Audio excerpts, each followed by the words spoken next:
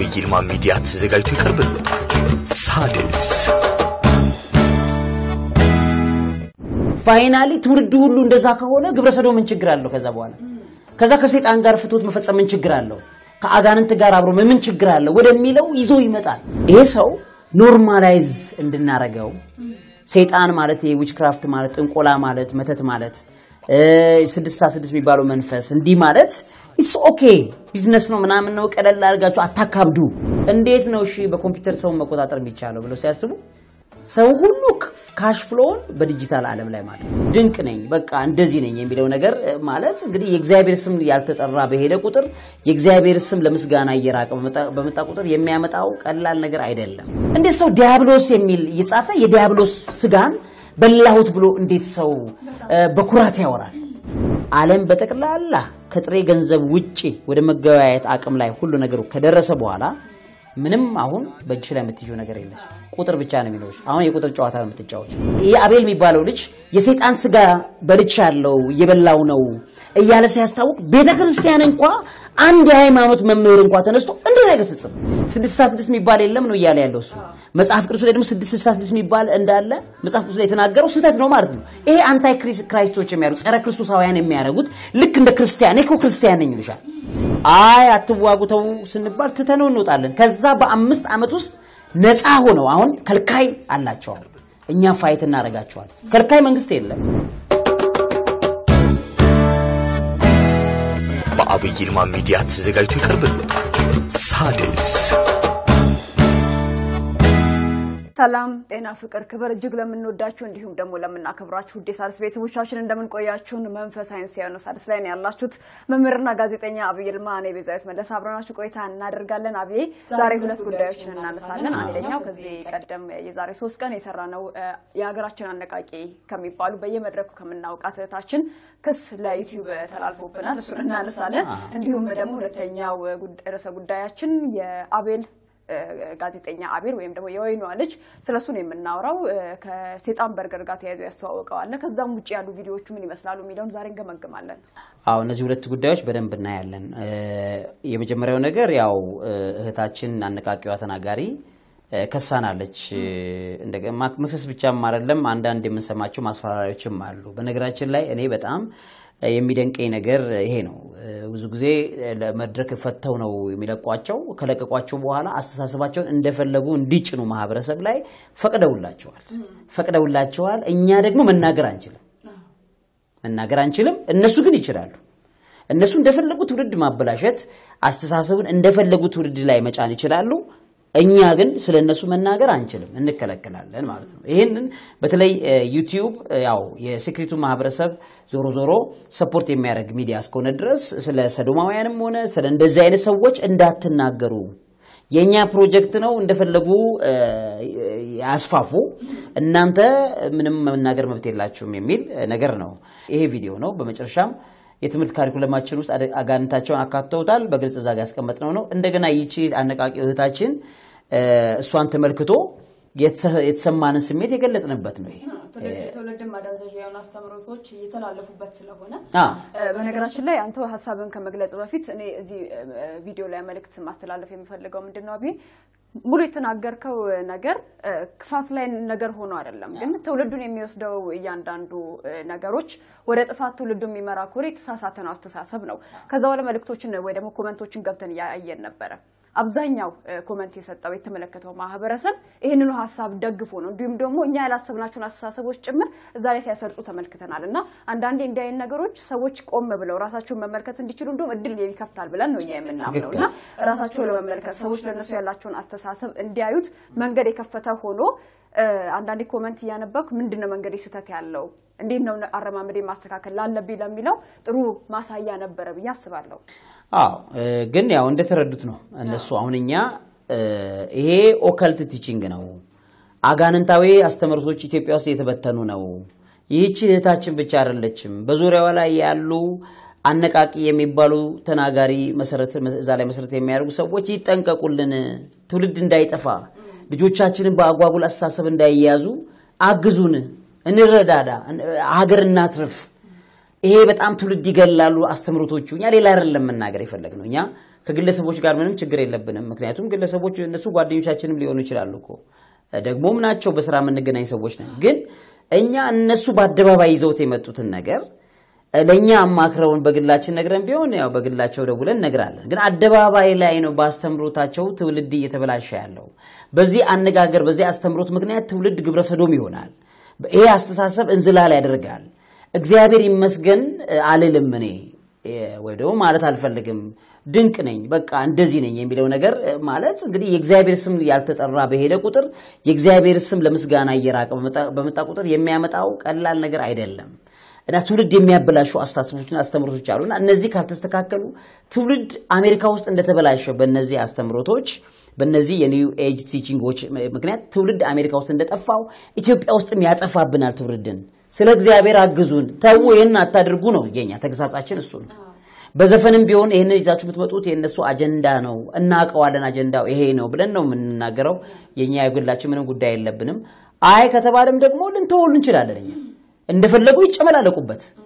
ከዛ ከልካይ ከሌላቸው በዚህ ይሄንን የሚከለክል የሃይማኖት መምህራን ለዚህ ጉዳይ ምንም አይነት እንትን የላቸውም፣ ፍላጎትም የላቸውም comment ለማድረግ። እንደዚህ አይነት አስተሳሰቦች ግን አሜሪካን ያፈረሱ አስተምሮቶች ናቸው። የቡዲስቶች አስተምሮት፣ የዚህ የ reincarnation አስተምሮት፣ የዚህ የ law of attraction አስተምሮቶች፣ ከገንዘብ ጋር የተያያዙ ፍልስፍናዎች፣ እነዚህ ማለት በማወቅም ባለማወቅም ትውልድን demolish የሚያደርጉና የሚያጠፉ አስተሳሰቦች ናቸው። እነዚህም አሜሪካ ትውልድን አሁን ያሉትን የግብረ ሰዶም ነፃነት ይከበርልን የሚሉትን ያመጡት በዚህ አይነት መልኩ ነው። አውሮፓ ውስጥ እንደዛ ነው። ኤዥያ ውስጥ አምላክ አልባ ያደረጉበት አካሄድ ይሄ ነው። ይሄንን ኢትዮጵያ ውስጥ ባመጣን ቁጥር ትውልድ ይጠፋል። አሁን አይደለም በአምስት አስር ዓመት ውስጥ አደገኛ አስተሳሰብ ምን ችግር አለው ታዲያ እንደዚህ እንትን ብንል እንደዚህ ቢደረግ የሚሉ የነ አቤል አይነት ወጣቶች የተመሰረቱት በዚህ ነው። የአቤል ስነ ልቦናው የሚመሰረተው በዚህ ነው።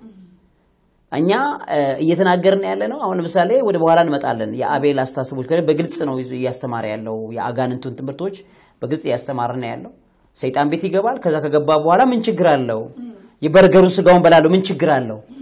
እንደዚህ ይጠቅማል ምን ችግር አለው? የሚለው የተፈጠረው በእንደዚህ አይነት አስተሳሰብ ነው። finally ትውልድ ሁሉ እንደዛ ከሆነ ግብረ ሰዶም ምን ችግር አለው? ከዛ በኋላ ከዛ ከሰይጣን ጋር ፍቶት መፈጸም ምን ችግር አለው? ከአጋንንት ጋር አብሮ ምን ችግር አለው ወደሚለው ይዞ ይመጣል። አደገኛ ሃይማኖት የእምነት ድፍረቶችንም ሁሉ ይመጣል። ይሄንን የሰሩትን ሰዎች ተዉ ግድ የለም ብለን የምንለው በትክክል አስተምሮታቸውን ጠቅሰን ነው። አስተምሮታቸውን ለመጥቀስ ደግሞ እነሱ መጠቀሳቸው አይቀርም። ምክንያቱም ሶርስ ነው፣ ምንጭ ነው የምንጠቅሰው። ለምሳሌ ይሄ መጽሐፍ የጣፍኩት እኔ ነኝ። ይሄ መጽሐፌን ከተቃወምሽ መምህር አብይ ይልማ የጻፈው መጽሐፍ ብለሽ ነው ጠቅሰሽ እውነት ነው። ዝም ብዬ ተነስቼ አንተን በግልህ አይደለም ጸቤ ከአንተ ጋር በግልህ ከጸቤሽ ከኔ ጋር አይደለም ከመጽሐፉ ጋር ነው። መጽሐፉን ስጠቅሽ ደግሞ እኔን ጠቅሽኛለሽ። እሺ ይሄ መጽሐፍ ስለሆነ ነው። ቪዲዮ ከሆንስ በቪዲዮ ከለቀቅኩት ስሬ ቪዲዮዬን ስጠቅሽ እኔ መጥቀስሽ አይቀርም አይደለ? ምክንያቱም አሁን ለምሳሌ ይቺ ልጅ በቪዲዮ ነው የምታስተምረው፣ እኔ በመጽሐፍ ነው። መጽሐፌን ታዲያ አብይ ይልማ ብሎ የአብይ ይልማ መጽሐፎች የሰራቸው አምስት ስህተቶች ብለሽ ማውራት መቼ ከሆነ ቪዲዮ ከተለቀቀ ደግሞ ቪዲዮን ስጠቅሽ ሰውየው ትጠቀሳ ወይ ሴትዮዋ ትጠቀሳለች። ባለቤት ስለሆንክ ባለቤት ስላለው እኛ ያደረግነው እንደዛ ነው። እሱ ስናደርግ አሁን ክስ መጣ። ክሱ ቪዲዮን አውርዱት የሚል ነው፣ ሪሙቭ አድርጉት የሚል ነው። ይሄ እንግዲህ ከማን ጋር እንደሚሰሩ ይታወቃል ማለት ነው። በሌላ አነጋገር አሁን ይሄ case subject ነው፣ ክስ ነው። ይሄ ክሱን ያመጣችበት ዩቲዩብ ነው የከሰሰችን። okay ከዛ to notify that you that we have received a privacy complaint from an individual regarding your content ከግለሰብ ነው የመጣው ወይስ ከእሷ ነው የመጣው ማለት ነው። እንግዲህ ብዙ ጊዜ አሁን ቪዲዮ ለማስወረድ ብዙ የብዙ ሰው compliment complaining ካለው ነው እታች ገብተሽ የእሷ ቪዲዮ ላይ ወደታች ስታይ ህዝቡ complain ያደርገው አለ። አሁን እንግዲህ ዓለም እንዴት fair እንዳልሆነች እንዴት ዓለም በተጽዕኖ ስር ነገሮችን እየከተተች እንደሆነ የምታየው አሁን ከስር ሲገባ ማህበረሰቡ ምን ሆኗል? complain አድርጓል እሷ ላይ ማህበረሰቡ አስተምሮቶች ልክ አይደለም፣ አጋንንት እያስፋፋሽ ነው፣ እንደዚህ እያደረግሽ ብሎ ያማረረበትን አይመለከተውም። ዩቲዩብ አይመለከተውም። ምክንያቱም የ secret ኡ ማህበረሰብ እጅ እንደሆነ የምታውቂው ለዚህ ነው። የነሱ አባላቶቻቸው የሆነ አገር ሄደው በሚያስተምሩበት ሰዓት ህዝቡ complain ቢያደርግ የህዝቡ ድምፅ አይሰማም። ያ ሰውዬ complain ካረገ በሱ ምክንያት ያግዱሻል። ህዝቡ በጠቅላላ ገብቶ ሲታይ ምንድን ነው የሚለው? የእሷ ትምህርት እንዴት አጋንንታዊ እንደሆነ መጥፎ ነገር እያደረገ እንደሆነ ብሎ ነው ህዝቡ ኮምፕሌን ያደረገው። ችግር የለም እሱ ላይ ምንም ችግር ህዝቡ ሚሊዮኑ ተሳስቷል። አንድ እሷ በጣም ትክክል ናት። አየሽ፣ በጣም በጣም መነካት የለባትም። ምክንያቱም የእነሱ ሲክሪት ሃንድ ስለሆነች ማለት ነው። ዩሲ አሁን ሪያሊቲ የምንናገረው እኔ ከመናገር ወደ ኋላ መላ አይደለም አይደለም እንትን የፈለገውን ነገር ማድረግ ይችላሉ። አሁን ምስቲል እኔ የምናገረው ቴሌቪዥን ጣቢያ ቢኖር ሳድስ ቲቪ ለምሳሌ ኖሮ ቢሆን የዩቲዩብ ከዩቲዩብ ቁጥጥር ውጪ የሆነ ነው የምንዳኘው በሀገሪቱ ህግ ነው በቃ እነሱ ግን የ international ፖሊሲያቸውን ኢትዮጵያ ላይ መጫን የሚፈልጉትን ፖሊሲ መጫኛ መንገዳቸው ስለሆነ እኛ ደግሞ አትጭኑም ስንል እኛን ይከሱናል ማለት ከቪዲዮም ሊያግዱን ይችላሉ ቻናላችንም ሊያግዱ ይችላሉ። መውሰድ ይችሉታል ከፈለጉ ግን የእነሱ ሚዲያ እኛ የራሳችን platform ሊኖረን ይገባል። እንደፈለግን ማህበረሰቡ ላይ የሚሰሩ ስራዎች እንደፈለጉ የሚያጨቀዩትን ኖልን የሚገባናል እንደ ኢትዮጵያ ስለሆነ ክሱን ይሄ ነው። ከዛ ዩቲዩብ legal supportive እነሱን ጠቅሶ እዚህ ጋር በዚህ የተነሳ ይሄን አድርጉ በ48 ሰዓት ነው የሚሉት። ስለዚህ okay አሁን ላይ private ሆኗል። already አሁን private ሆኗል ማለት ነው እና private አድርገንላቸዋል። ግን ያደረግነው already ማህበረሰቡ ስንት ያማረረበት ስንት ትክክል እንደሆነ እኔ እንደውም እነሱም በሆን ከስር ትገቢና comment ኡን እያየሽ ይህ ሁሉ ማህበረሰብ በአስተምሮቴ ላይ ቅሬታ አለው ማለት ነው። ሳላቅ ማህበረሰብ እየጎዳው ነው ማለት ነው። ካላወቀ ማለት ነው ያ ሰውዬ ሳላውቅ ማህበረሰብ እያበላሸው ነው ማለት ነው። ሳላውቅ ማህበረሰብ እኔን እንደዚህ እየተረዳኝ ነው ማለት ነው። የምኖረው ከዚህ ማህበረሰብ ጋር እኮ ነው። ይህንማ እንደውም ስላነቃችሁኝ አብይ እግዚአብሔር ያክብርልን እና ቢቻል በቃ private አድርጉልኛ እናስተካክላለን በዚህ መልኩ ብሎ ማለት ይቻላል። ምን ከሌለ አጀንዳ ከሌለ አጀንዳዋ ካለች ግን አጀንዳው ይቀጥላላ። የተከፈለሽ ጉዳይ ስለሆነ ሂሳቧን እስክትጨርሺ ድረስ ምንም መብት የለሽም። እንዳልሰራ ከለከሉኝ ብቻ ብለሽ ነው መሀሉ ላይ ሪፖርት ብታደርግ እዛ እንደዚህ እነ አብይ እንዳልሰራ ከልክለውኛል፣ እንግዲህ የምታደርጉትን አድርጉ ነው። it's okay ግን እኛ የምንለው still ለዚህ ነው ሣድስ ቲቪ መቆም ያለበት። በጣም ብዙ የኛ ቻናሉ የኛ አይደለም የነሱ ነው። እየተዋጋን ያለ ነው ከነሱ ጋር ነው ከራሳቸው ጋር ነው። አይ አትዋጉ ተው ስንባል ትተነው እንወጣለን። ከዛ በአምስት ዓመት ውስጥ ነፃ ሆነው አሁን ከልካይ አላቸው። አሁን እኛ fight እናደርጋቸዋል። ከልካይ መንግስት የለም። ከልካይ የሃይማኖት መምህራን የሉ አትሊስት እንኳ ሃይማኖት መምህራን የአቤል የሚባለው ልጅ የሰይጣን ስጋ በልቻ ያለው እየበላው ነው እያለ ሲያስታውቅ ቤተ ክርስቲያን እንኳ አንድ የሃይማኖት መምህር እንኳ ተነስቶ አይገስጽም?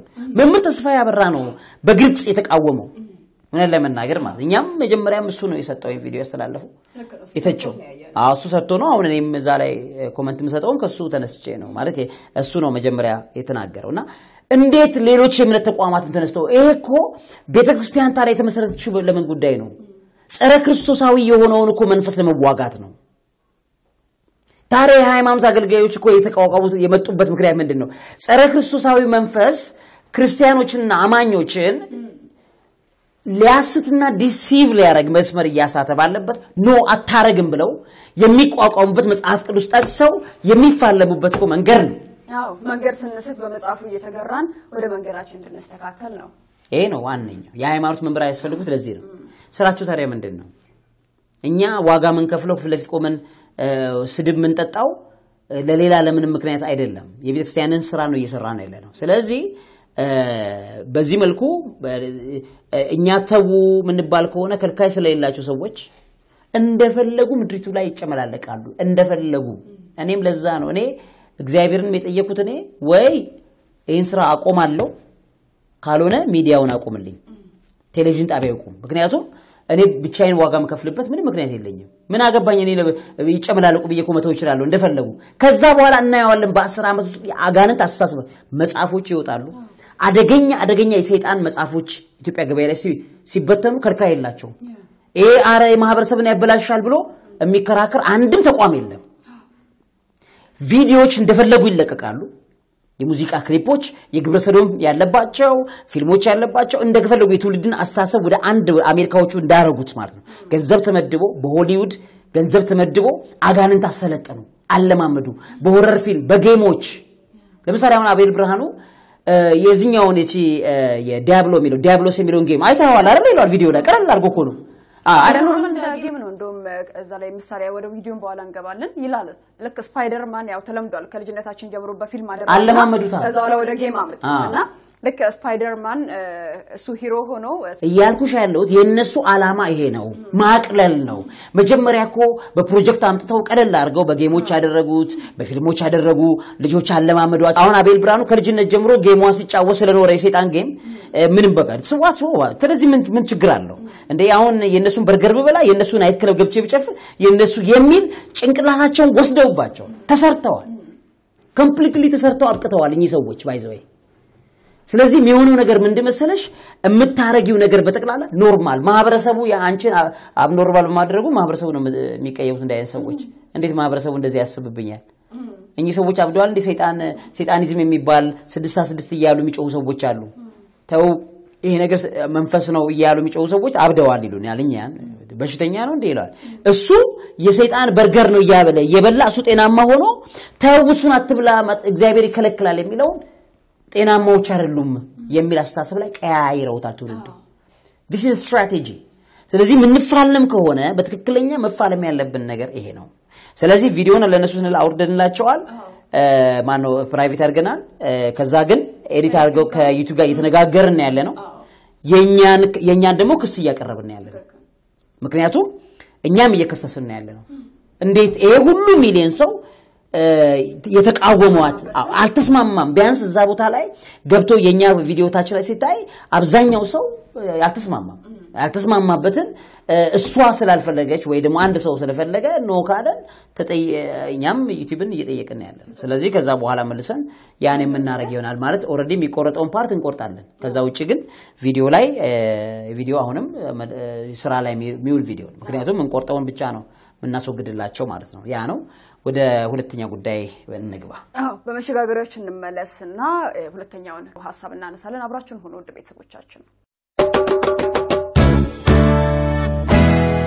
በአብይ ይልማ ሚዲያ ተዘጋጅቶ ይቀርብልዎታል። ሳድስ ተመልሰናል። ውድ ቤተሰቦቻችን መንፈሳዊ ሲሆኑ ሳድስ ላይ ነው ያላችሁት። ወደ ቀጣዩ ሁለተኛ ወደ ያዝነው ሀሳብ ነው የምናልፈው። አብዬ እሱም ከአቤል ብርሃኑ ወይም ደግሞ የወይኗ ልጅ በመባል የሚታወቀውን ጋዜጠኛ ነው እንግዲህ ትልቅ በዩቲዩብ ላይ አዎ ብዙ ስራ የሚሰራ ሰው ነው። በተለይ ደግሞ ወቅታዊ የሆኑ መረጃዎች ላይ ታማኒ የሆኑ መረጃዎችን ይዞ በመምጣት እናውቀዋለን። አሁን ላይ ግን የሆኑ አስተሳሰቦች አሉ፣ የሆኑ አስተምሮቶች አሉ። በተለይ ይሄ አጋንንታዊው ከጨለማው ዓለም ጋር የተያያዙትን ነገሮች normalize ቀለላል ያሉ ወደ ማድረግ የሚሄድ እና ይሄ ቪዲዮ እስኪ ላሳይክና ሀሳብን ትነግረኛለህ። የሴጣን ቤት መንገድ ላይ እየሄደ የሴጣን ቤት የሚል ያያል ይወጣ ነው እና የሚለውን እንስማው። basic የሆነውን የዚህ የወንድማችንን አስተሳሰብ በቪዲዮቹ ላይ ማየት ይቻላል። normally በቃ አሁን ቅድም እንዳልኩ ቀለል አድርጎት ማንኛውን ነገር የሚቀበል ልጅ ነው። ቀለል አድርጎት እንግዲህ የእግዚአብሔርንም ስም ይጠራል ሰይጣንንም ምንም ችግር የለም የሚል አይነት ነው። በትምህርቶቹ በሚያደርጋቸው ነገሮች በጠቅላላ እና ሰይጣን ይሄዳል ማለት በጣም ብዙ የሚገርመኝ at least አንድ ቀን ተቃውሞ እንኳ አሁን እኛ ይሄ ሰይጣናዊ አሰራር ነው፣ ሀገር ያበላሻል፣ ትውልድ ያበላሻል ብለን የምንላቸው ለመቃወም እንኳ ፍቃድ የለውም። እኔ አንድ በጣም ማስታውሰው ቪዲዮ ኢሉሚናቲ የሚባል የለም ብሎ የሰራው አንድ ቪዲዮ። ራሱ የኢሉሚናቲን ታሪክ ሰርቶት ቀደምት የነበረ እንደሆነ አሁን ላይ ግን እንደሌለ። አሁን ስለዚህ ሰይጣን እንደሌለ ነው እየነገረን ያለው። አሁን ዋነኛው አስተሳሰብ ከዛ ነው እንትን የሚለው ማለት እግዚአብሔር አለ፣ ሰይጣን ግን የለም።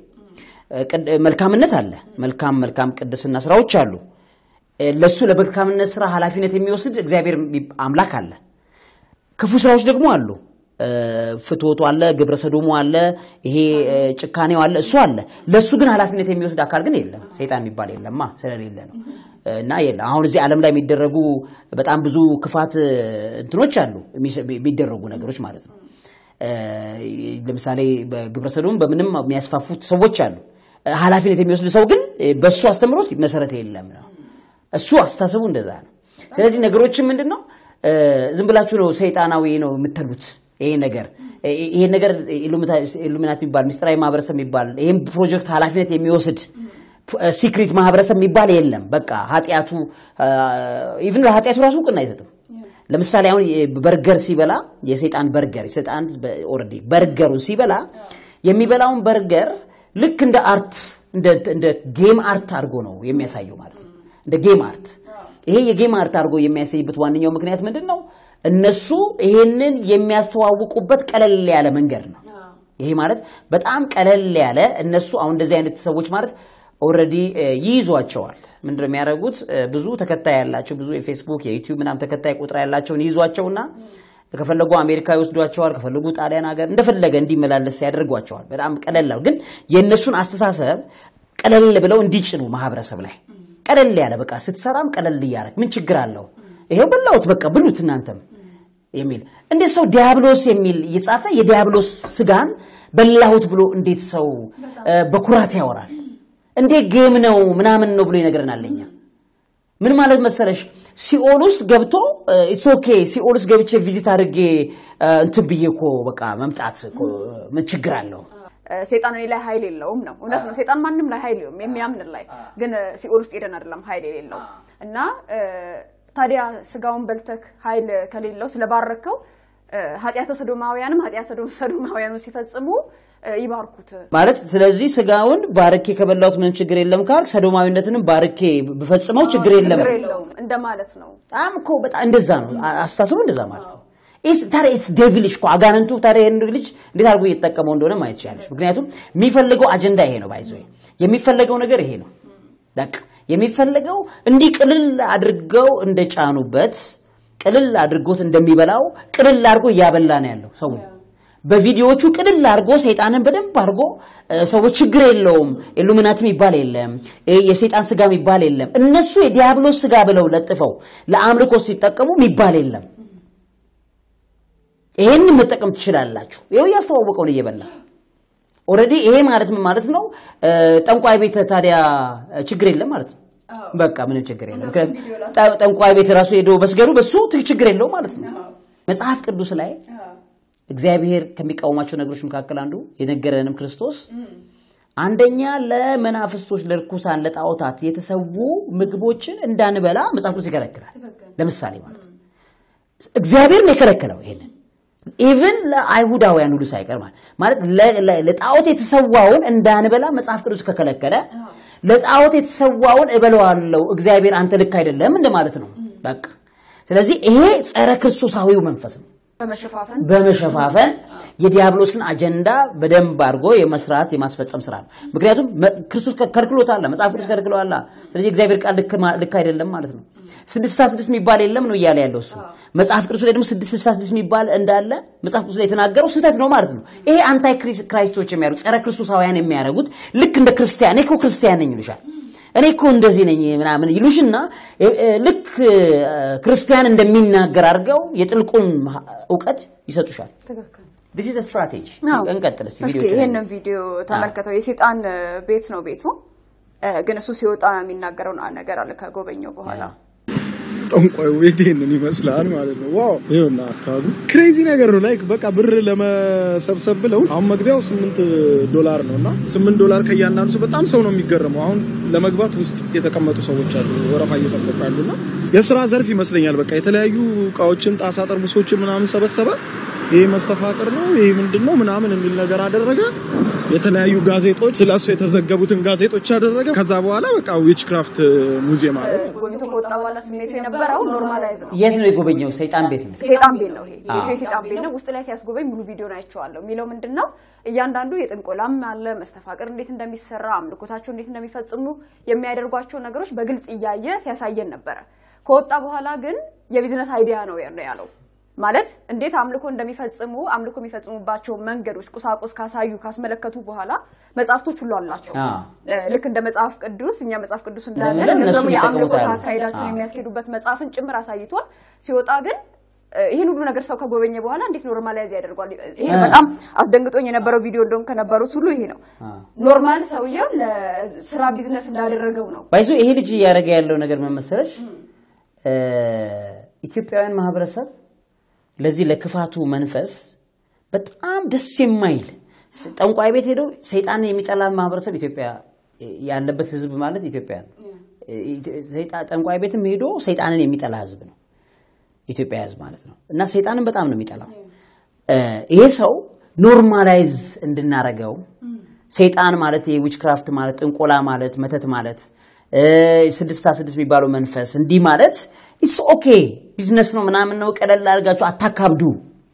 በዚህ ጉዳይ ላይ ማህበረሰቡ ላይ እንዲሰራ ያለውን እንትን ተጠቅመው ያለውን የህዝብ የ follower ቁጥር ተጠቅመው ፈንድ አድርገውት እርግጠኛ ሆኜ ነው ፈንድ አድርገውት ከሚሰሩባቸው ሰዎች መካከል አስተሳሰባቸው እንዲህ ያሉ ሰዎች ናቸው። አብዛኛዎቹ ኢትዮ- ኢትዮጵያ ላይ ብቻ አይደለም ይሄ ሌሎች ዓለማት ላይ እንደነዚህ አይነት ፈንድ ያደረጉና ማለት ነው ያሰሯቸዋል ይህንን እርግጠኛ ነኝ ስለማቅ ነው። እሱ ምናልባት ይሄ አይነት ነገር የለበትም ብዬ ላለማመን አልችልም። ምክንያቱም ይጠቀማሉ እነሱ እንደዚህ አይነት ነገር method ነው የሚጠቀሙት። እኔ መንገዳቸውን ስለማቅ ነው። በጣም ብዙ የ follower ያላቸውን ሰዎች target ያደርጋሉ፣ ገንዘብ ይመድባሉ። አንተ ቀለል አድርገኛ ፈንድ በቃ ፈንድ እናደርጋለን። ቀለል አድርገህ ግን ይሄ ማህበረሰብ ያለውን እምነታዊ አስተምሮት፣ ሃይማኖታዊ አስተሳሰብ አላላልን በምሰራው ቪዲዮ አላላለን። እሱ ብቻ አይደለም እኮ ሌሎችም አሉ ትላልቅ ቻናል ይዘው ለማላላት እየሰሩ ያሉት normalize እንድናደርገውና ነገ ኢሉሚናቲ የሚባለው ቢሮ ሲከፈት በይፋ ምን ችግር አለው? ምንም እኮ እንትን ናቸው by the way የ business idea ነው፣ ምንም ችግር የለም የሚል ነው እየሰራ ያለው ይሄ ሰውዬ። ከዛ በኋላ የሰዎች ነፍሳት ተሽጦ ካበቁ በኋላ በቤተክርስቲያን ሄደው በጸሎትና በምናምን ሰይጣን ጮሆ ሲወጣ ይሄ እንትን ነው ነገ እንደዛ ነው የሚሉሽ ማለት ነው። በትምህርት ቤት ህጻናቶችን ከትምህርት በኋላ ለማስተማር እየሰሩት ያሉትን መንገድ ክርስትናውንም ሌላውም እምነት አሜሪካ እኩል ሁለቱንም። እንደውም ክርስትና እዛው እየተጨቆነ ያለበት ሰዓት ነው፣ ግን እኩል መብት የተሰጣቸው እንደሆነ ነው የሚገልጸው። ወደ ትምህርት ቤቶችም ያለ ተከራካሪነት ዘልቆ እንዲገባ ያስቻለው በር ደግሞ የአሜሪካ ነጻነት የሚለው ሕግ ነው። አሜሪካ ነጻነትና እኩልነት የሰው ልጆች እስከ መጨረሻው ሊከበርላቸው ይገባል ባይናት። ለዚህም ነው ሴጣንንም እግዜርንም ማምለክ የፈለገ መብቱ ነው ብላ የምትተው። by the way የእግዚአብሔር ስም እግዚአብሔር አይደለም። እግዚአብሔር ሰዎች በተለምዶ ቢሉትም እግዚአብሔር ነው። እግዚአብሔር ማለት እግዚ ወልድ ነው። አብ እግዚአብሔር አብ ነው። ሄር መንፈስ ቅዱስን ነው የሚወክለው። ስለዚህ ይሄ እግዚአብሔር ስንል ያ ማለታችን ነው። እግዜር እግዜር የሚል ይሄ ቀለል ያለ informal ነው። informal formal አይደለም። ለዛኛው ለረከሰው formal ኡን ጠርቶ እ፣ ለእግዚአብሔር ደግሞ informal ኡን even አጠራሩ ራሱ ማለት ነው። ከዛ ጋር ተደስቶ አሜሪካ የዛ የርኩሳኖቹንንም የተቀደሰው የአምላካችንንም የሚያመልኩትን እኩል መብት መጠበቋ ለዚያ ነው ብሎ እውቅና ነው እየሰጠሽ ያለው። ነገም ኢትዮጵያ እንዲህ ልታደርግ ይገባል እያለሽ እኮ ነው። ቀጥይ። በአሜሪካ ሕግ ሕጋዊ እውቅና ባለው በሰይጣን ቤተ አምልኮ ስር የሚመራው ይሄው ሰይጣን ክለብ የሚባለው በየትምህርት ቤቱ after school የሰይጣንን አምልኮ አሁን እያለሽ ያለው ምንድን ነው? ለዚህ ነው ጥበቃ የምታደርገው። ስለዚህ ነገ ኢትዮጵያ ጥበቃ ታድርግ እያለሽ ነው። tone ኑ ራሱ እኮ የንግግሩ tone ሀሳቡ እንትን አይደለም። ይሄ የመጸየፍ ነገር የለውም። ለመከራከር እንኳን ለማህበረሰብ ለመከራከር ምንም ፈቃድ የለውም ልጁ by the way ይሄን ነው እያደረገልሽ ያለሽው። ቀጥይ። በዚህ የተቆጡ ወላጆችም ይህ ነገር ይቁምልን በማለት በባነር ላይ መፈክራቸውን ጽፈው በአደባባይ በትምህርት ቤቶቻቸው ደጃፍ ላይ ተቃውሞ ሰልፍ ያድርጉ እንጂ በተመሳሳይ የሚደግፉና ልጄ እስከፈለገና እስከወደደ ድረስ ምንም ቢያደርግ ግድ የለኝም፣ ልጄን የማይጎዳ ነገር ከሆነ ድረስ ምንም ቢሆን ግድ አይሰጠኝም የሚሉ ወላጆች ልጆቻቸውን ወደዚህ ክለብ መላክ ከጀመሩ ዋላ ደር ብለዋል። መላክ ከጀመሩ ማለት የማይልኩትን appreciate አድርጎ የሚልኩትን አልገሰጸም። ለምሳሌ እንደ ኢትዮጵያዊ ተጸይፎ ያላኩትን appreciate ነው ማድረግ ያለበት እንደ ኢትዮጵያዊ ጨዋነት። አየሽ ጀግና እናቶች ግን እዚህ አንልክም ብለው እየታገሉ ይገኛሉ። አይደለም ትኩረቱ ትኩረቱ የሱ የሆኑ እና ቢፈጠርም ችግር የለም ልጄ ምንም አይጎዳብኝ እንጂ አካሉ አይሰነጣጠቅ የሆነ መርፌ አይውጋው እንጂ ብሄድስ ምን ችግር አለ ብለው እየላኩ ነው እና የአሜሪካ የሃይማኖት ነጻነቷን ነው በይበልጥ ቪዲዮ እየላኩ ነው። እንደዚህ አይነት ወላጆች እየላኩ ነው። ስለዚህ ምን ማለት ነው? እናንተ ኢትዮጵያውያን ይሄን መልእክት ስሙኝ ነው እያለ ያለው። promote እያደረገላቸው ነው ያለው ማለት እያለሳለስላቸው ነው ያለው። መንገድ እያለሳለስላቸው ያለ ሰው ነው። ይሄን ነው እኔ የማየው። እሺ ይሄ ከካሽ ለሶሳይቲ ጋር እንግዲህ ብዙ ሰርተናል እኛ cash መያዝ ብዙ አመች እንዳልሆነ ደግሞ የሚገልጽበት መንገድ ነው። credit card ም የመሰረቅ እድል አለው። ሰዎች ታግተው ምናምን ሊሰረቅ ይችላል።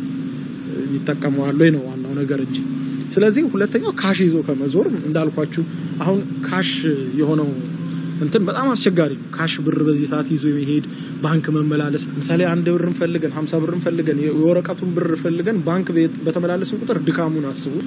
cash ይዞ መሄድ ለራስም አደጋ ነው። ምክንያቱም ሰው cash ሲሰርቅ ብራችሁን አታገኙትም። card ኣችሁን credit card ኣችሁን ቢሰርቅ የሆነ ነገራችሁን ቢሰርቅ ግን ደውላችሁ still የማዘጋት ያን ሰውዬ credit card ኡን ሲጠቀም በሚጠቀምበት ATM ላይ ፎቶ ስለሚነሳ ብቻ ያው እያብራራ ያለው የ cashless መሆን ጥቅም አለው ነው። አሁን እሱን ነው የምልሽ። አሁን ይሄ አጀንዳ የእነሱ እንደሆነ በደንብ ብታውቂው ምንድን ነው cashless society እነሱም ያውቁታል። ዋነኛው ዓላማቸው ጥሬ ገንዘብ አልባ ማህበረሰብ መፍጠር OK ለአሁን የሚጠቅመን ነው የሚመስለው። እነሱ ግን እችን target ሲያስቀምጧት በአስር ዓመት ውስጥ ዓለም ላይ ወረቀት አልባ ወረቀት even እኮ ወረቀት print የሚባል ነገር እንዳይኖር ነው የሚፈልጉት። ነገሮች ሁሉ digitalized እንዲሆን ነው የሚፈልጉት። አሁን ልበይ በአምስት አስር ዓመት ውስጥ ምትገዢው በጠቅላላ ምትሸጪው ነገር በጠቅላላ ከቁጥር system ውጪ እንዳይሆን እያደረጉት ነው የሚገኙት። እኛ የዛሬ እኔ አሁን የዛሬ ስድስት ሰባት ሰባት ዓመት cashless society ማድረግ ነው እቅዳቸው ምናምን እያልኩ ሳወራ ማንም ሰው ያልተረዱት ጥቂቶች ነበሩ የተረዱት። የዛን ጊዜ ኮቪድ አልገባም። ስለዚህ ጥቂቶቹ ምንድን ነው የሚያወራው? እንዴት ይሆናል? ይሄ ሩቅ ዘመን ነው የሚያወራው። ሰው ስለ ሩቅ ዘመን ነው የሚያወራው። no no no no በቅርብ ዓመታት ታዩታላችሁ። ኮቪድ የመጣበት ዋነኛው ምክንያት የዓለምን ቅርጽ ለመቀየር ነው። የግልጽ ነው። ከዛ ዓለምን ወደ ምናለው ከንክኪ ውጭ ያደረጓት። አሁን cashless society ለመፍጠር አንድ ኮቪድ የጠቀመው ምንድን ነው? ሰው ገንዘብ መነካካት ምናምን፣ እጅ መጨባበጥ ምናምን እንትን ያስተላልፋል የሚለውን ፍርሃት ስለፈጠሩበት immediately ይሄ ጥሬ ገንዘብ አልባ ማህበረሰብ አፈጠኑት። ያንን moment ማለት ነው። በጣም የተጠቀሙት moment ነው። ያ ያው የ secret ኡ ማህበረሰብ እንትን ስራ ነው እሱ። ምክንያቱም ስድስተኛው ማህበረሰብ ኮቪድ የሚባሉን በመልቀቅ የሚያገኛቸውን አስር ጥቅሞች ወይም ሀያ ጥቅሞች ዘርዝሮ ነው የሚለቀው። ጉዳት አይኖረውም፣ ይኖረዋል። እነሱን ግን በጣም የዓለምን ሀብት የተቆጣጠሩ ከፍተኛ power ያላቸው በወርቅና በአልማዝ የገንዘብ መጠናቸውን ተክተው ያስቀመጡ ሰዎች ናቸው። የፈለገ መናጋት ቢቀር እነሱን ሊነካቸው አይችልም። ምክንያቱም ከፍተኛ ለምሳሌ ኤሎን መስክን ወይም ደግሞ የአሜሪካ ቢልጌትስን ትልቁን ባለሀብት በቀጥታ በወርቅ በአልማዝ ብራቸውን ተርጉማ ያስቀመጡ ሰዎችን የዓለም ላይ የፈለገ ኢኮኖሚ ራይክ እንትን ቢመጣ እነሱን በመጠኑ ነው affect የሚያደርጋቸው። ስለዚህ ኮቪድ affect ያደርጋቸዋል። affect እንደሚያደርጋቸው ያውቃሉ። ነገር ግን ጥቅሙን ነው የሚያሰሉት እነሱ። በአስር ዓመት ውስጥ ዓለም ጥሬ ገንዘብ አልባ ከሆነች እያንዳንዱ ሰው ወደ ቁጥር system ውስጥ ምንከተው ከሆነ ቁጥር ላይ ስለሆነ ያለው በኮምፒውተር እሷን መቆጣጠር እችላለሁ። እንዴት ነው እሺ በኮምፒውተር ሰውን መቆጣጠር የሚቻለው ብለው ሲያስቡ ሰው ሁሉ cash flow ን በዲጂታል ዓለም ላይ ማድረግ። ስለዚህ አሁን ይሄ ልጅ እያወራ ያለው እነሱ ስለነገሩት ነው የሚያወራው። training ይሰጣቸዋል። by the way training ሰጧቸውና ስልጠና በየአሜሪካ ውስጥ ከየሀገራቱ እንደነዚህ አሁን specially አሁን እንደዚህ ቲክቶከሮች፣ ዩቲዩበሮች በጣም ብዙ follower እና ተከታይ ያላቸውን ይወስዷቸዋል እና deal ያደርጓቸዋል። እኛ በምንሰጣችሁ training መሰረት ይህንን አለዝባችሁ ስሩልን የሚባል ማለት ነው። ከዛ ይሄንን አለዝበው ለመስራት የሚጠቀሙበት መንገድ ደግሞ ምንድን ነው? ትልቁ ነገር የሚሆነው ነገር ይሄ ከዚህ ጋር የሚያያዘው ነገር ምንድን ነው? የማለዘብ ስራው በሚከናወንበት ሰዓት ላይ የሚሰሩት ቪዲዮዎች፣ የሚመጡት ነገሮች፣ የሚከናወኑት ነገሮች በጠቅላላ ከነሱ target አንጻር ነው የሚሄደው። ስለዚህ ለእነሱ ስልጠናውን ሲሰጧቸው ታዲያ አገርን cashless ማድረግ ምንድነው ጥቅሙ ይላል። ይሄ ለምሳሌ ሲል አይ cashless ማድረግ የሚጠቅመው ዋነኛው ምክንያት ያው እንትን ATM እንዳይሰረቅ እንደዚህ እንትን እንዳይል እንደዚህ እንደዚህ ያገለግላል፣ ሊያጠናክር ያደርጋል። ይሄማ ከሆነ አሪፍ ነዋ ታዲያ ነው። ከዚህ የዘለለ ጥልቅ ነገሩ እውቀቱ መረጃው የላቸውም፣ እንዲኖራቸውም አይፈቀድም። ስለዚህ ጥልቁን መረጃ ግን ምንድን ነው የዚህ ዋነኛው መጨረሻው target የዛሬ አስር ዓመት ዓለም በጠቅላላ ከጥሬ ገንዘብ ውጪ ወደ መገበያየት አቅም ላይ ሁሉ ነገሩ ከደረሰ በኋላ ምንም አሁን በእጅሽ ላይ የምትይው ነገር የለሽ፣ ቁጥር ብቻ ነው የሚኖርሽ። አሁን የቁጥር ጨዋታ ነው የምትጫወችው። ስለዚህ አሁን ATM card ነው የጠቀሙ ያሉት። እንግዲህ እንደሚታወቀው microchip የመጨረሻው target ናት። ስለዚህ ማንም ሰው microchip ቀብሮ በቃ ባንክ ቤትም ሴት ጢጥ ገንዘቡን ያወጣል። ንግድ ባንክ ሄዶ እንትን ሄዶ አውሮፕላን ማረፊያ ሲሄድ ድልው እዚህ ጋር ነው ያለችው፣ ወይ ግንባር ላይ ወይ ቀኝ እጅ ላይ ምልክት ይሄ አውሬው code implement የሚደረጉባቸው እነዚህ ቺፖች ዓለም ላይ ሁሉ ያስቀብራሉ። የትም ቦታ ላይ ከዚህ chip ውጭ እንዳትንቀሳቀሽ ማድረግ ነው የእነሱ ግባቸው ነው። ይሄን ግብ እስካሁን እስከዛ እንድደርሽ ድረስ የኛ ዓላማችን ይሄ ነው ብለው አይነግሩሽም። እንደዚህ አይነት ሰዎችን by the way የነሱ እንደ ሸንኮራ አገዳ ከመጠጣዎች በኋላ የሚጥሏቸው ናቸው። አይፈልጓቸውም። train አድርገው አሰልጥነው ለእነሱ ግን እንዲሰሩላቸው ይፈልጋል። ኢትዮጵያ ውስጥ ታዲያ ለእነሱ እንዲሰሩላቸው ዓለም ላይ አሁን በይፋ ሰይጣናዊ እምነት አሜሪካ ውስጥ በይፋ ተከፍሎ እግዚአብሔርን የሚቃወም የሚሳደብ መስቀል አዘግዝቀው የሚሰቅሉ የሉም ሊለን ነው። አሁን አሁን ብንጠይቀው የሉም ይለናል። አሉ ካሉ እንዴት እንደመጡ ማጥናት ነው። እንደዚህ ነው የመጡት። አመጣጡ አሁን እሱ በመጣበት ነው የመጡት። መጨረሻ ላይ ይሄ ልጅ ምን እንደሚሆን አንቺ ለማየት ያብቃሽ። መጨረሻውን ትነግሪኛለሽ። የዛሬ ሁለት ዓመት ሶስት ዓመት ትነግሪኛለሽ። መጨረሻው ምን እንደሚሆን እንነጋግራለን። የእግዚአብሔር ቁጣ ግን እንደነዚህ አይነት ሰዎችን እንደሚያገኝ እኔ ያምናለሁ። ምክንያቱም አካሄዱ እነሱ እንደዚህ አድርገው ነው የሚወስዱት። ከዛ መጨረሻ ላይ መስቀል መዘግዘቅ ምናምን normalize ሰይጣንን ጓደኛችን ነው ምናምን ብለው እኮ አሁን ላይ እንደፈለጉ የሚሆኑት። እግዚአብሔር የሚሳደቡት። እግዚአብሔርን እኮ እንዴት አድርገው እንደሚሳደቡ ማለት ነው። ይሲ ከሰይጣን ጋር ሆነው ሲኦል ሲኦል እንሄዳለን እያለ ሰው ነፍሴን ሰጥቻለሁ ሲኦል በክርስቶስን ክጃለሁ እንትን ብያለሁ ነፍሴን ሽጫለሁ ሲኦል ነው ምኖረው በይፋ እያሉ የምድር ላይ ገንዘብና ሀብት ለማግኘት ብቻ እችን ገንዘብና የሆነ ወርቋን ያገኟት እንጂ ምንም ነገር ለማድረግ ዝግጁ እንደሆኑ የሚገልጹበት ደረጃ ላይ የመጡት ሰዎችን እሱ ሲልብ ካለው እነሱን ጠቅሶ እንዲህ አይነት ሰዎች አሉ፣ እየተስፋፉ ነው፣ ተጠንቀቁ፣ እንጠንቀቅ፣ በማወቅም ባለማወቅም እንዲህ ለምን አይልም? ልብ ካለው እነሱን እየደገፈ ነው እየሰራ ያለው። እስቲ ደግሞ እነሱን ተቃውሞ ደግሞ ይስራ። ምክንያቱም ስራ አሉ የሉም ብሎ ከካደልን በጣም ደስ ይለኛል። የሉም በቃ እንደዚህ አይነት ሰዎች ካሉ በአደባባይ ላይ አሜሪካ በአደባባይ ላይ ሰይጣኒዝም የሚባለው እምነት በአደባባይ ላይ ክርስቶስን እየሰደበ መጽሐፍ ቅዱስ እየቀደዱ በአደባባይ የሚሉ ሰዎችም የሉም እያለን እኮ ነው። ይሄ አይነት አካሄድ በጣም አደገኛ በጣም አደገኛ ሰዎችን ተጠቅሞ የሚሄጃቸው መንገድ ስለሆነ አሁንም እኛ fight እናደርጋለን። አሁንም ዝም አንልም። አሁንም እንናገራለን። የሆነ ቀን ግን ሀገር የምታመሰግነን ቀን ይመጣል። ሀገር እንሸልመን። ምክንያቱም አሁን እንዲህ ተፋልመን እንደዚህ አይነት አስተሳሰቦች ላይ መስራት ካልቻልን ከሆነ ጊዜ በኋላ ሚዲያውን እነሱ ነው የሚቆጣጠሩት። ባንኩን ይቆጣጠሩታል፣ ገንዘቡን ይቆጣጠሩታል፣ ቤተክርስቲያንን ይቆጣጠራሉ። የፈለግሽን ቦታ ላይ control ያደርጉታል። መብት የለሽም። ከዛ በኋላ ክርስቲያኖች ናቸው ሜዲያ ላይ የሚወጡት መብታችን ይከበር እያለ አሁንም እኮ እየተደረገ ያለው እሱ ነው። አሜሪካ ውስጥ እየሆነ ያለው ክርስቲያኖች አሁን አሜሪካ ውስጥ መብታችን ይከበር እያሉ ያሉበት ደረጃ፣ ሙስሊሞች መብታችን ይከበር በነፃነት ማምለክ አልቻልንም አምላካችንን እያሉ ያሉበት ደረጃ ላይ ተደርሰዋል። እሱ ኢትዮጵያ ውስጥ አይ ኢትዮጵያ ላይ አይሆንም፣ አሜሪካ ብቻ ነው የሚሆነው። ችግር ኢትዮጵያ ምንም አሜሪካ ውስጥ ነው እንጂ እንደዚህ አይነት ነገር ኢትዮጵያ ውስጥ ስለማይሆን ነው ነው። okay ኢትዮጵያ ከዓለም የተለየች ሀገር አይደለችም። ለማይሆንበት ምንም ምክንያት የለም። እቅዳቸውም ኢትዮጵያ ላይ እንደውም በጣም የጸና ነው። ሃይማኖት አልባ እምነት አልባ ማድረግ ይፈልጋሉ። ስለዚህ ዞሮ ዞሮ አሁንም እንቃወማለን፣ አሁንም fight እናደርጋለን አይነት አስተሳሰቦች ለማለት ያክል። አዎ ጥሩ መረጃ እንዳገኛችሁ እምነታችን ነው። የምትመለከቱትን ነገር ውድ ቤተሰቦቻችን እነሱ ካመጡበት angle ብቻ ሳይሆን እናንተም ደግሞ ዓለም ልሰጣችሁ ወይ ደግሞ ልትታለልበት የተፈለገበትንም ጥበብ እየመረመራችሁ እንድታስተውሉባቸው ነው። እዚህ ጋር ደግሞ እንግዲህ መጽሐፍ አለ በጣም የሚገርም የቅድስት አገር የኢየሩሳሌም ታሪካዊ ቦታዎች እንደገና ከአራት መቶ በላይ ቅድስታዊ ቅዱሳን ታሪካዊ ቦታዎች በካርታዎች በፎቶግራፍ በመጽሐፍ ቅዱስ ጥቅሶቻቸው ጋር የተቀመጠበት ነው። ይሄ መጽሐፍ የአቶ ዘካርያስ አበበ መጽሐፍ ነው። በጣም የሚገርም ነው። እኔ በጣም የገረመኝ መጽሐፍ ነው። የፈለጋችሁትን ጥንታዊ እውቀት እዚህ መጽሐፍ ላይ ታገኛላችሁ። ዋና ያዘጋጁ እሱ ነው። ግን አቡነ ሕርያቆስና አቡነ አብሳዲ ያዘጋጁት መጽሐፍ ነው። በዚህ መልኩ ሆኖ የቀረበውን ይህም መጽሐፍ ታገኙታላችሁ። በተለይም ደግሞ በአማዞን ላይ ታገኙታላችሁ። ወይም ደግሞ በዚህ አሁን እስር በምናስቀምጥላችሁ ስልክ ቁጥር ላይ ደውላችሁ ይሄ መጽሐፍ ይድረስልኝ ይምጣልኝ ብላችሁ መደወል ትችላላችሁ። በተለይ አሜሪካን ሀገር ያላችሁ እዛው አሜሪካን ሀገር ስለሆነ ያለው መጽሐፉ እዚህ ኢትዮጵያ ውስጥም እንትን እያለ ነው። ግን በዋነኝነት ደግሞ አሜሪካ ውስጥ በደንብ ታገኙታላችሁ በስፋት ማለት ነው። ለጊዜው ኢትዮጵያ ውስጥ ያለው ገበያ ላይ አልተበተነም። በብዛት መልኩ ያው የመጣ ያለው በትእዛዝ ስለሆነ ማለት ነው። ትእዛዝ ግን እፈልጋለሁ በትእዛዝ ይምጣልኝ መጽሐፉ ካላችሁም ደግሞ በዚህ እታች ባለው ስልክ ቁጥር አሁን ባስቀመጥንላችሁ ስልክ ቁጥር በቴሌግራም እዛው አሜሪካን ሀገር ደውላችሁ በቀጥታ መላክ ይችላል ማለት ነው። እነዚህ መጽሐፎች ግን በአጭር ወራት ውስጥ ኢትዮጵያ ውስጥ በስፋት market ላይ እንዲቀርብ እየሰራን ያለ ነው ከአሜሪካን ሀገር መጥቶ ማለት ነው።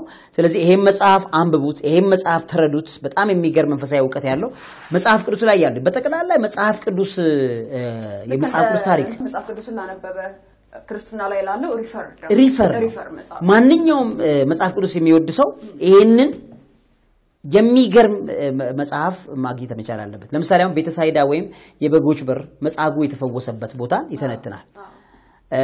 ለምሳሌ መጻጉን ምን ይለዋል እዚህ ጋር ለምሳሌ በሉቃስ ወንጌል ምዕራፍ 9 ላይ ያለውን በኢየሩሳሌምም በበጎች በር አጠገብ በዕብራይስጥ ቤተሳይዳ የምትባል አንዲት መጠመቂያ ነበረች፣ አምስትም መመላለሻ ነበረባት እያለ የሚያነሳውን ይተነትኗል። ቦታው አሁን አሁን ያለበትን የዛ ሰዓት ላይ ጌታችን እንዴት አድርጎ ፈውሱን ያከናወነበት የነበረው የበጎች በር የተባለበትን ምክንያት ታሪኩን ምኑን በታትኖ ያስቀምጣል ከነ ፎቶ ማለት ነው።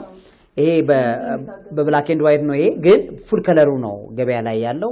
ስለዚህ ይሄንን መጽሐፍ አግኝታችሁ አንብቡት። በአማዞን ላይም ታገኙታላችሁ። በአማዞን ላይ Historical Places of Holy Land በሚል የተቀመጠ ነው። እዛ ላይም ታገኙታላችሁ። ግን በስልክ ቁጥር ላይ ደውላችሁ ይሄን መጽሐፍ እዘዙ። በተለይ አሜሪካን፣ አውሮፓ፣ ሌላም ሀገር ያላችሁ ባላችሁበት በፍጥነት እንዲደርስ በቀጥታ ስልክ ቁጥሩን ተጠቀሙት ማለት እንወዳለን። እንሰነባበት ነው። ጥሩ ነገር አግኝታችኋል። ፕሮግራሙ share እያደረጋችሁ እንዲሁም ደግሞ subscribe ያደረጋችሁ subscribe እያደረጋችሁ አብራችሁ እንድትሆኑ እንጋብዛለን። ውድ ቤተሰቦቻችን መምህርና ጋዜጠኛ አብይ ይልማ፣ እኔ ቤዛ መለስ አብረናችሁ ነበርን። ተሰነባብተናል። እውቀት ታላቁ እግዚአብሔርን ታከብራለች። በአብይ ይልማ ሚዲያ ተዘጋጅቶ ይቀርብልዎታል። ሣድስ